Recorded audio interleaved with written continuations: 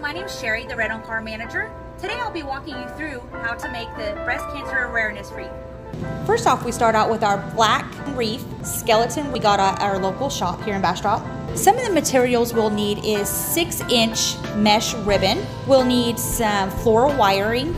We'll need anywhere from one to two inches of ribbon, scissors, and any kind of centerpiece that you want to put in the middle. The materials that we used are some leftover materials from last year's breast cancer awareness event. So first off, you'll start out with um, your six inch mesh ribbon and you'll cut it about five or six inches long, whatever your preference is. I do about three of those at a time, and then I'll roll them as tight as I can, and then I'll stack all three together, and then I'll take my wire and I'll wrap it around it, and I'll leave it about um, an inch or two long so it can attach to the skeleton wreath and you'll continue to um, keep adding your little bouquet of um, mesh ribbon until it is full. It'll probably take about 42 to 50 um, of those little bunches.